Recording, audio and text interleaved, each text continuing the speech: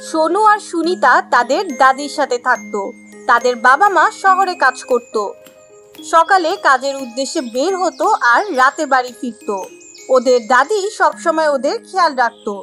ওদের যত্নের কোনো কমতি রাখতো না। আরে শোনো সুনিতা সোনা আসো আসো খাবার খাও। স্কুল থেকে এসে ক্ষুধা লেগেছে তো। এখনই আসছি দাদি। আসছি দাদি। তারা দুজনই তাদের দাদির সাথে সারাদিন থাকতো। কারণ দাদি ছিল ওদের সবচেয়ে ভালো বন্ধু। চলো না দাদি এখন তো খাবার খেয়ে নিয়েছি। চলো বাইরে গিয়ে আমাদের সাথে খেলো না। ঠিক আছে কিন্তু আগে এক ঘণ্টা বিশ্রাম করে নাও। ক্লান্ত হয়ে গেছো তো তাই না? বিকেলে আমি তোমাদের সাথে অবশ্যই খেলব। বিকেল হতেই বাচ্চারা আবার জোর করে। দাদি আপনি বলেছিলেন তো আমাদের সাথে খেলবেন। চলো না খেলি গিয়ে। হ্যাঁ অবশ্যই খেলব। এই নাও দুধের গ্লাস আর খেলতে চলো। দাদি বাচ্চাদের খেয়াল রাখতো আর তাদের সাথে খেলতো।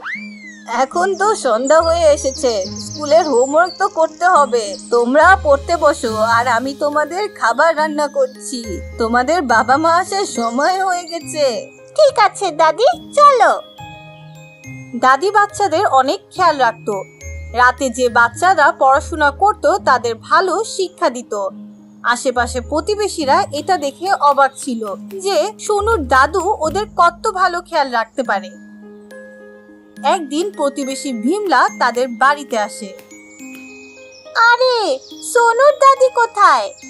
আরে বোন কমলা, তুমি আমাদের সাথে এসে গল্প করো না কেন?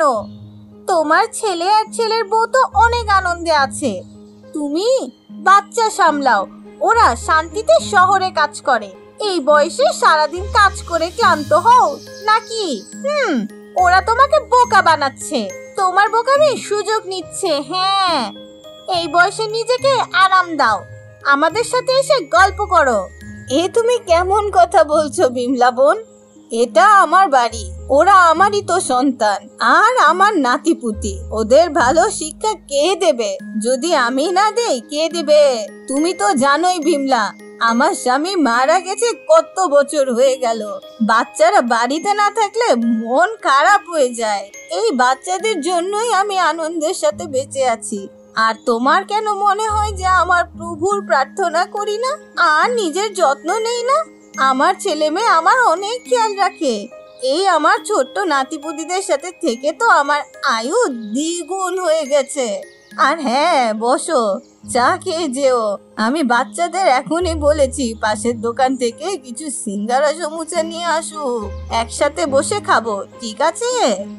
না না, ঠিক আছে, আমি এখন আসি। দাদি এভাবেই এমন প্রতিবেশীদের কথার জবাব দিয়ে দিত। আর নিজের ঘর সব সময় হাসি খুশি রাখতো। দাদি তুমি সবার সেরা। আমরা লুকিয়ে লুকিয়ে তোমার কথা শুনেছি কিন্তু সত্যি বলছি তুমি আমাদের গর্ব। আরে আমার নাতিপুতি আমার কাছে এসো। জঙ্গলে একই গাছে একটি কাক আর একটি তোতা থাকতো। তোতা সারাদিন কথা বলতো গান গাইতো। কিন্তু তার এমন আচরণে কাক সবসময় বিরক্ত হতো। একদিন তোতা অনেক জোরে জোরে কথা বলছিল। আরে ভাই কাক, চুপচাপ কেন বসে আছো? আরে দেখোই না, পরিবেশটা কত সুন্দর। মন তো চায় যে পেঁপে খাই, লিচু খাই, আর না জানি কত কি খাই। আজকের পরিকল্পনা কি? কোথাও ঘুরতে যাবে নাকি? নাকি এভাবেই বসে থাকবে? জানো, কালকে আমার বিড়ালের সাথে দেখা হয়েছিল। ওর খালার বাড়ি যাচ্ছিল।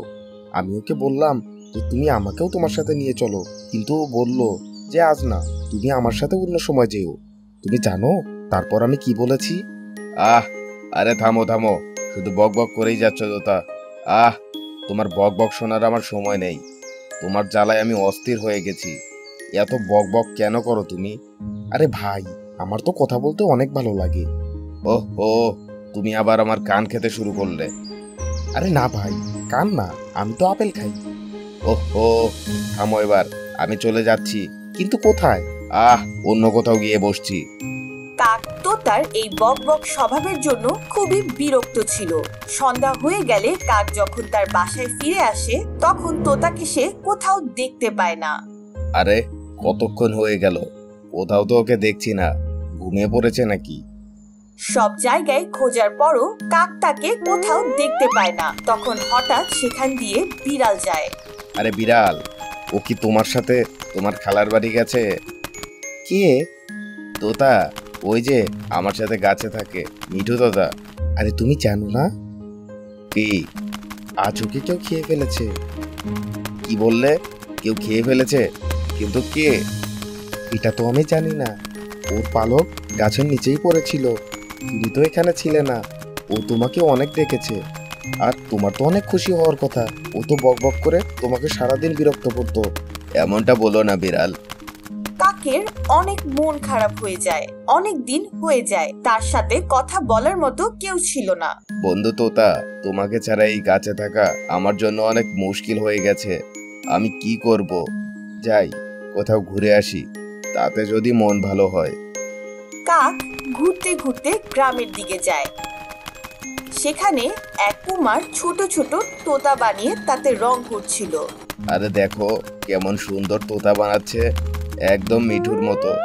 আমি যদি একটা তোতা নিয়ে যাই আর গাছের ওপর রেখে দিই তাহলে মনকে সান্ত্বনা দিতে পারব যে মিঠু আমার সাথেই আছে। পরদিন বিড়াল বলে আরে এ কি? মাটির তোতা এখানে কেন? বিড়াল আমি আমার ভুল বুঝতে পেরেছি। আমি আমার বন্ধুকে হারিয়ে ফেলেছি। তাই একে আমার মিঠু মনে করে এখানে এনে রেখেছি। ওর কথা আমার অনেক মনে পড়ে। প্রভু ওর আত্মাকে শান্তিতে রাখুন। সন্ধ্যা তার মেয়ে শোভানার বিয়ে নিয়ে খুব চিন্তায় ছিল। সে দিন রাত তার মেয়ের বিয়ের জন্য টাকা জোগাড় করছিল। কিন্তু অনেক চেষ্টার পরও সন্ধ্যা পুরো টাকা জোগাড় করতে পারছিল না।